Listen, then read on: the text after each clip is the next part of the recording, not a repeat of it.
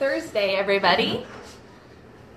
We're gonna give everybody a chance to log on. Facebook always, if you've never gone live before, it says we're live and we're building an audience for you. So this is my this is my small talk section of the video where I waste some time and smile for the camera and wait for other people to show up. So, uh, real quick though, I'll kind of talk about where the inspiration for this comes from yesterday, if you saw some of the pictures that we posted, um, I think we created a, a brand new album, and, and, they're also all on Instagram. But yesterday we had about 16 kids here in the studio, and we did shibori, which is a Japanese, um, it's a real ancient art of dyeing fabrics using indigo dye. So it uses a, a natural dye. So we use true indigo. Um, which we dissolved into water using a reduction agent, and we used some soda ash, um, we learned that it starts out a yellowish green and then oxidizes to that deep dark blue after it's been dyed. And so I think we left with only just a couple kiddos that had uh, blue fingers, but um, but everybody else did okay. And they got to come in and dye up to three things that they brought from home.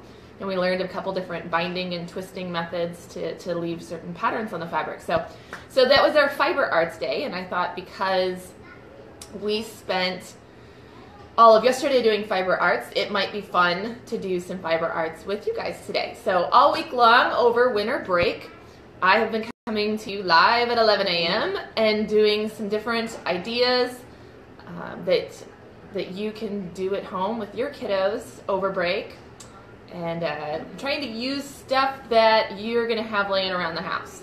So, uh, so no no shibori tie-dye today for me because I figure most of you don't have indigo dye laying around. So I was going to show you some fiber arts using some stuff um, that you have around. So I'm going to go ahead and get started. First of all, if you don't know me, my name is Allison Jensen and I am the owner of Orange Easel School of Art. If I get interrupted, it's because I've got a camp going on in this classroom, and then I've got um, our Mom's Morning Out program going, out and down the hall. So the studio is kind of buzzing. I actually, I went to all the classrooms and said, I'm gonna go live on Facebook. Do you need anything before I go live? So, so we'll see if anybody needs anything from me. But otherwise, there's one. She's good though. Um, otherwise, hopefully we're not interrupted. But if, if we are and I have to run away, that's where I went, I promise. Okay, you're gonna need a couple things today, and we're gonna be using cardboard. So piece of cardboard, cut up one of those Amazon boxes that you've got, um, and I've got mine cut just to about a size of, uh, gosh, what's this, like 9 by 12-ish. You're gonna need some yarn or some fabric scraps. You can cut up old clothes that don't fit anymore into strips. You can use, um, you know, just any kind of scrap yarn, string, ribbon, even that you have laying around. I have a giant bucket here um, of different things that we've got. Anything that's fiberish you can use. You can even use some pieces of paper that end up being, you know, very fiber-like. So you're gonna need that, and then um, obviously a pair of scissors.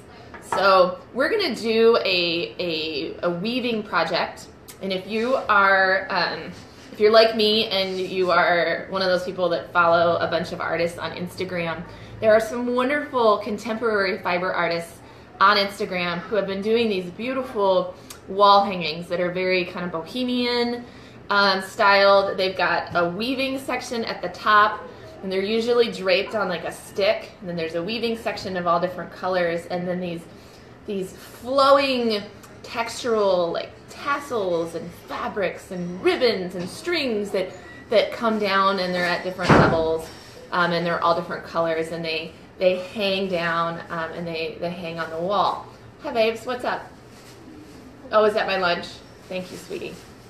You can just set it there. Thanks, bud. So uh, we're gonna make something kind of inspired by that project today. Um, and we're gonna do it using a cardboard loom and all our different fabrics and scraps that we've got. And then I've even got um, tutorials on how to make some fun little pom-poms or tassels to hang from, you know, the bottom of your wall hanging. So your first step, of course, is to make your loom. And so with your cardboard, the first thing you're gonna do is cut slits all the way across the top.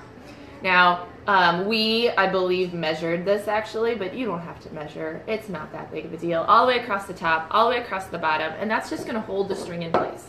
Now, we did it really, really simple in ours. You can see we started down here and we ended um, over here. It's not even taped into place. It's just wedged into that slit. We took one piece of string, just this brown string, and wrapped it all the way around our loom. So that way we have our vertical strings to hold all of the weaving in place.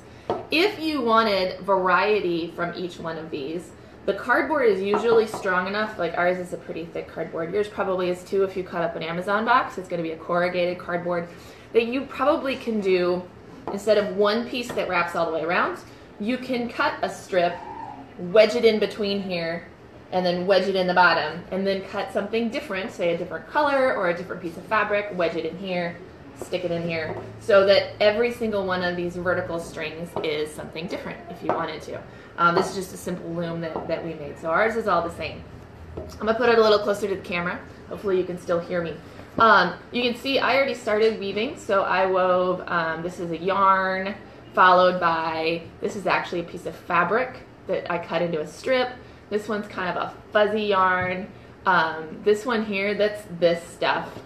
Isn't that funny? Um, and then and then there's another yarn down here. Uh, if you're using fabric, so this was the, the fabric that I, I wove in here. This is just a cotton fabric. I cut it into a little bit smaller than this piece, a little bit thinner, and it's an over, under, over, under technique, which is great for kids to practice, um, and pulling it through and then pushing it up into the loom. Uh, you can also, if you don't want to have to cut this, you can, oops, I gotta move back so you can see what I'm doing. You can actually do a little bit of just rolling and folding. If you wanted to get out the iron, you could get out the iron and iron that and then weave it in there. The ends of ours, as I wove, I tucked them in and kind of hid them with the exception of this one that I need to still weave back in there. Um, you can also leave them hanging off the side. You can knot them and leave them hanging off the side um, so that you can make your, your wall hanging. Color-wise, this is a great design project for kids is to decide, you know, how how you're going to lay out your colors, what your color scheme is going to be, um, and then also maybe what um, you know how big each band is going to be. So my white band is a little bit thicker um, than you know like this top band up here. Can also do textural things before you put them in here. So for instance, this was going to be my next layer, and I, I ran out of time, but I used a, a yellow piece of yarn, a golden piece, and I actually made like a, a crochet chain out of it. Or if your kids know how to braid, they can pre-braid it and then weave it into your into your loom. Um, there's a lot going on here in terms of texture and color and design that um, that we're working on when we work on a, a tapestry like this. Now, the finishing of this, you can you can go all the way through the loom and you know all the way to the bottom and leave it right here on the loom and be good with it. Uh, and then this is your finished piece. You can finish the, the loom part, the cardboard with paint, or you can um, you can actually cut a mat for it and leave it right on here as opposed to trying to take it off. You can also take um, on your last row and knot it all the way across so that way it doesn't unravel. And then when you cut across the back, the top part becomes what you would hang from, and then the bottom part you can trim off. Um, or you can leave it hanging down like those those tassels that I talked about from, from the different wall hangings.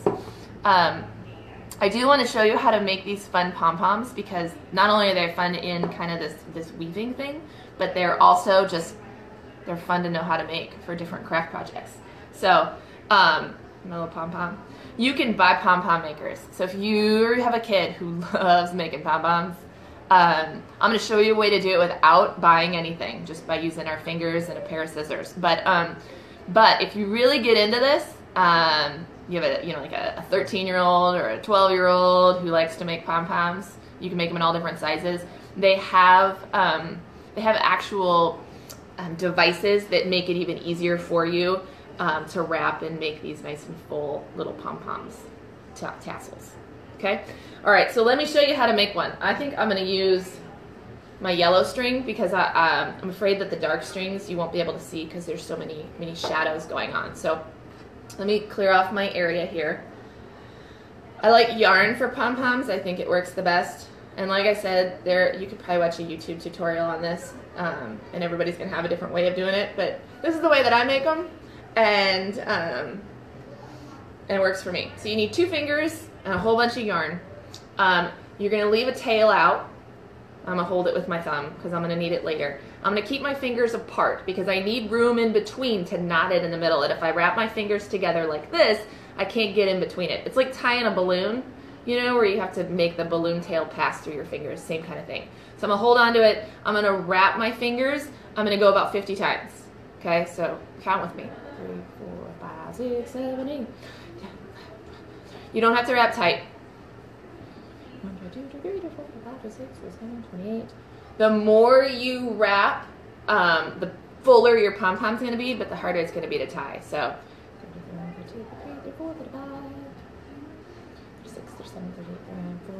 Almost there.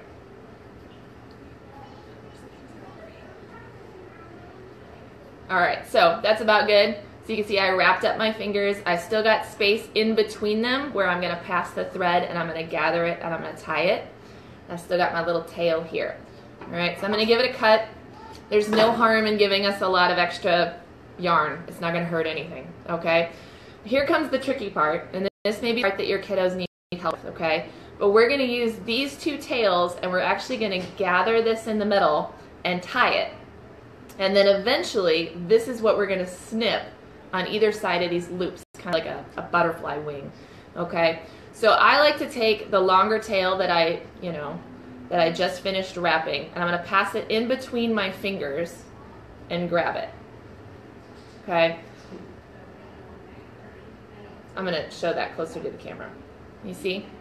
So I've wrapped it in between there. I'm going to go around one more time. This is where that space in between your fingers is really important, otherwise it doesn't work. Pull it nice and tight. Okay? It's also really important that you don't break the string doing this. But yarn is pretty yarn is pretty tough. Okay? So we wrap it around a couple times, pull it nice and tight, and then I'm going to slide it off my fingers wrap this one more time just to be sure. Okay, so I'm to slide it, come on, off my fingers without turning my fingers blue. Did you see them? They were turning blue. Ah. All right, here they come.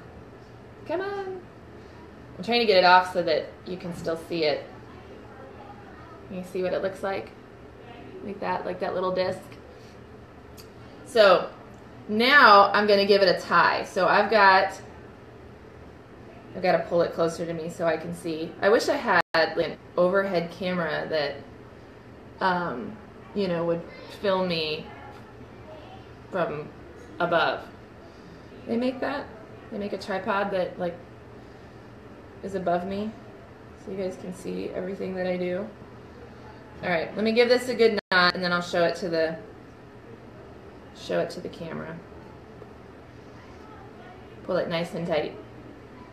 And I'm to leave these nice and long. Um, I can trim them later if I want to, because, but if I, if I want to suspend this little pom-pom from someplace, these two little tails are really nice for that. All right, so I'll leave my tails. And then you see all these loops right here? That's what we need to cut in order to make our pom-pom. So all I'm gonna do is slide my scissors into this little disc. And I'm not going to get them all at the same time. If you have one of these really cool pom-pom makers, um, you actually, you can. You can, it's like one snip and they all get cut. But I always have to kind of go back and find the loops. Um, and that's okay. Because it doesn't, it doesn't get into all of them on, the, on one try, but make sure I get all my loops cut. So you can see it's starting to kind of open it up, kind of fill it out. We're to give it a haircut too. So, which is actually, I think, one of the most fun parts. So you give it a fluff. Fluff, fluff, fluff, fluff, fluff. Open her up. Fluff it out. and then we're gonna give it a haircut. So this is where nice sharp scissors come in handy. We can cut any of them that maybe are a little bit too long and it's not quite rounded. I don't want to cut my, my handle there, but so that's where you get your little pom-pom tassel that you can, you know, weave into into your design if you want. Um, you could actually attach it to one of the vertical strings, just tie it on there, and then just weave right over the top of it, and it'll it'll stay in there and it'll kind of hide your strings um, for the weaving. These are also really fun to make, um, you know, just for for decoration in your in your bedroom or on a, a table lamp or or anything else that you'd want. So all these little pom poms, you can make them all day long. All right. So this is my this is my fiber arts thing. I'm probably gonna keep working on this a little bit and maybe um, get it off the board. Uh, you can also, I mentioned painting the board, but you can paint fabric too. So um, if you have watercolors or even food coloring, that type of kind of liquidy, watery paint will dye the fabrics without changing the texture of them too much. Um, even like just a washable tempera paint. So if, if maybe you've got fabrics and your kids are not too wild about those colors of the fabrics, go ahead and paint right over the top of them. You can either paint them before you weave them into something or you can paint them afterwards. Um, and, and that, that will kind of you know help you use what you've got without having to buy something new. So I hope that this is a fun project for you guys. Um, my daughter got um, a loom for Christmas, one of the round ones, and has been making scarves. Honestly, my husband and I have been using it as well. It's been very fun. And um, I know I talked to a couple other kiddos who have come to classes this week, and, and they've also gotten some different kinds of looms. So, um, you know, weaving might be something that you see more of in the classes in the future. I've got a lot of kiddos who are interested in it. So, it's such a practical art form, uh, these, these tapestries and these fiber arts. So, if you have questions about this, please send me a message or, or comment below the video and I'll be happy to chat with you about it. Um, tomorrow's video, I'm still deciding what it's going to be. So if you have suggestions on something you want to see, um, you can let me know. Um, it is going to be pre-recorded. It is not going to be live. I'm going to be on the road to our final family Christmas, and so I'm going to try to, to head out of town just a little bit sooner than normal. So, um, so we're going to pre-record tomorrow's art activity for you, and we'll post it at 11 o'clock. It will be a video form, but I, I still have to rack my brain. So you have about like you have about two hours if you want to see something to let me know so that I can I can I can make sure to to make a video on it. All right. You guys have a wonderful Thursday, and uh, I will chat with you tomorrow.